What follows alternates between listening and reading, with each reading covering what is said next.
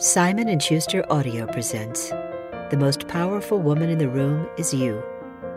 Command an audience and sell your way to success. By Lydia Fenet. Read by the author.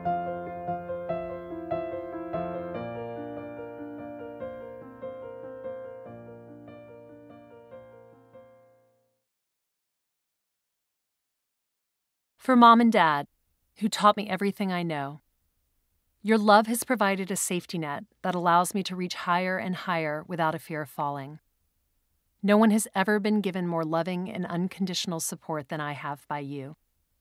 Thank you for everything. I love you. For Chris, the best husband, father, and friend I could have asked for in life. You are my rock, and I could not have done this without you. I love you. For Beatrice, Henry, and Eloise, there are no words to describe my love for you. I will love you for eternity. For Charles, Andrew, and Hillary, who pushed me to run faster and jump higher, you are my inspiration and my motivation.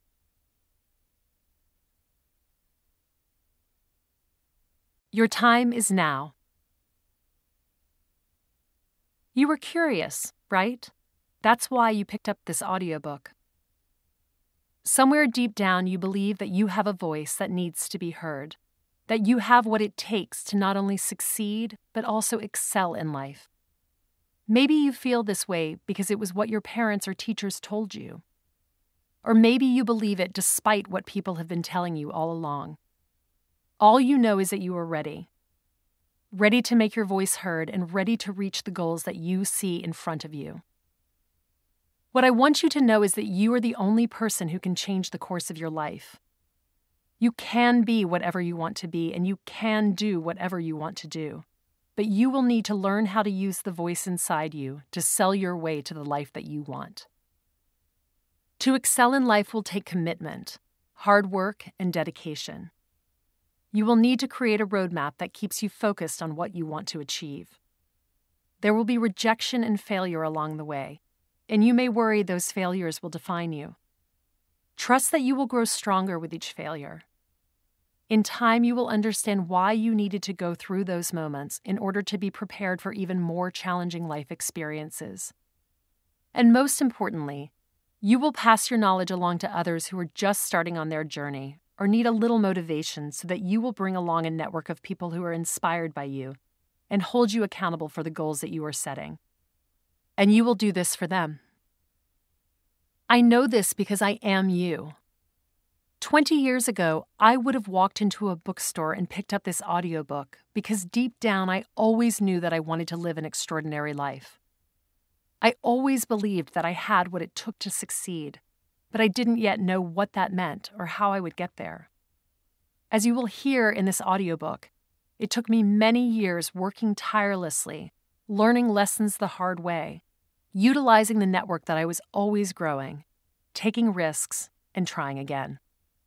I took every opportunity that presented itself and found a way to maximize it. There are no shortcuts in life, but my hope is that you will listen to this program and achieve your goals in the shortest time possible for you, and then set new, higher goals and keep reaching. I've written this book to tell you anything in life is possible if you see roadblocks as hurdles instead of barriers. There is nothing you cannot do if you put your mind to it and commit to following through. If I can find time to write a book on deadline while juggling the schedules of three children, spending time with my husband, and managing a full time career and a night job as a charity auctioneer, you can achieve your dreams too. Nobody picks up an audiobook titled The Most Powerful Woman in the Room is You unless that is who she wants to be. I want this to change your life. I want it to inspire you, motivate you, and push you to be the best you can be, and to raise up other people along with you while you do it. The most powerful woman in the room is me. But most importantly, the most powerful woman in the room is you, too.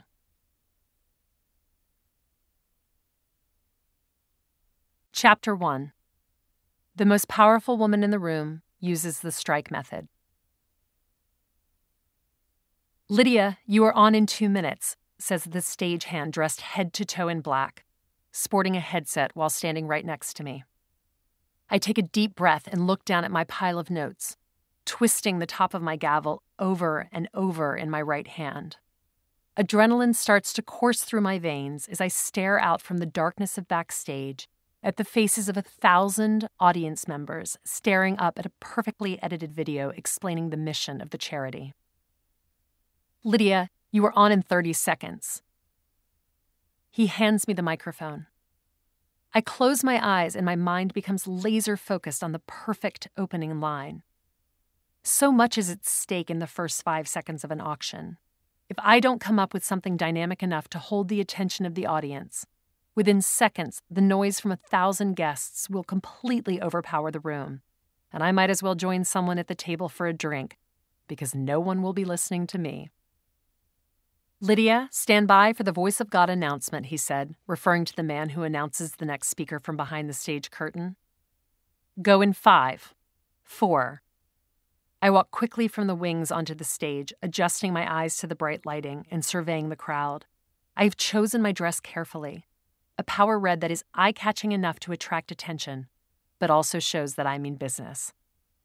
My long brown hair is curled to show that I put in the effort, but having three small children running around at home means that I rarely have time for dry bar before going on stage in the evening. Three, two, one. Please welcome Lydia Fenet, managing director and lead benefit auctioneer for Christie's Auction House. I stride purposefully toward the podium, take a couple of seconds to spread my notes across it, pausing just long enough to make the crowd look up to figure out why I am not talking. Crack, crack, crack. I slam down my gavel so forcefully that half the audience jumps in their seats. I call it the strike. The strike has become my signature move. I never start an auction without it. A few times I have forgotten my gavel and had to improvise. An empty salt shaker, a jar of Kiehl's face cream from the goodie bag at my chair, a tube of Laura Mercier lipstick.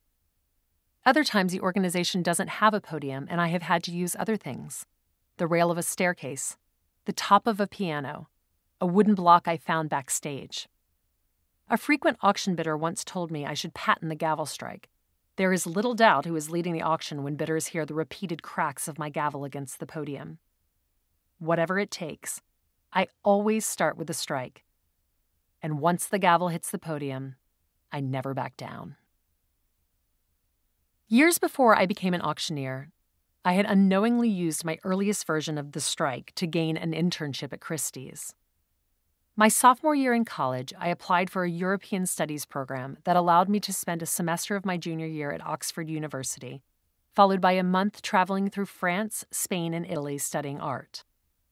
Prior to that semester, my exposure to art was probably similar to what most people are exposed to in their lives a picture of Van Gogh's The Starry Night in a textbook, a poster of Monet's Water Lilies purchased from a college bookstore, and in my case, a lot of vacations spent being dragged around to museums by my parents, while my siblings and I lobbied them to ditch the art in lieu of an ice cream stand out front. What I didn't realize when we were traipsing through the museums with my parents was that each painting had a story. In most cases, many stories that elevated it from flat art on the wall to a dynamic, exciting masterpiece. When I was older and studying at Oxford, as we walked through the museums with our professor, she brought each piece to life by telling the story of the painter who created it, or how it was considered risque at the time because of its subject matter, how the painting had fallen into the hands of one patron or another, and how it ultimately had ended up in that museum. I spent the semester enthralled as we visited museum after museum and studied masterpieces while balancing notebooks and pencils, trying to jot down every last comment. After finishing the semester and trying out every pasta bar in Italy, I immediately declared a second major in art history and spent the next year and a half cramming art history classes into my schedule. It was toward the end of my time abroad that I stumbled upon an article in a magazine about women who worked in auction houses. Up until this time, it had never occurred to me that there was a vibrant, energetic business element to the art world. I assumed that a person would just walk into an art gallery and buy whatever they wanted off the wall. Actually, I don't even think that I had ever given it a thought. Art to me was something that hung on the wall of a museum, not the wall of your house. The article focused on the glamour of a job in the auction world, the high stakes that specialists faced when they were tracking down a piece of art that had previously been considered lost or stolen, the amazing events that top clients around the world flew to New York and London to attend in advance of the big auctions, the international travel, the interfacing with the most powerful people in the world, the opportunity to see museum quality art every day as part of your job. I was completely enthralled. The thought of working in a place where a rediscovered Leonardo da Vinci might be hanging on the wall one week and a Degas might be hanging on that same wall the following week seemed like a dream. After I did some basic research, it was clear that the two top auction houses in the world were Christie's and Sotheby's. So I sat down to write out a roadmap that would help me achieve my goal of securing an internship at one of them. I spent the next couple of months researching the auction world and telling anyone who would listen that I was looking for an internship in that field. To me, telling anyone and everyone about my goals in life is the same thing as free marketing. You never know who might be able to help you along the way, so never be afraid to put it out there. Also, it serves another purpose it holds you accountable. People will check in with you to see if you have made progress along the way. We hope you enjoyed this preview. To continue listening to this audiobook on Google Play Books, use the link in the video description.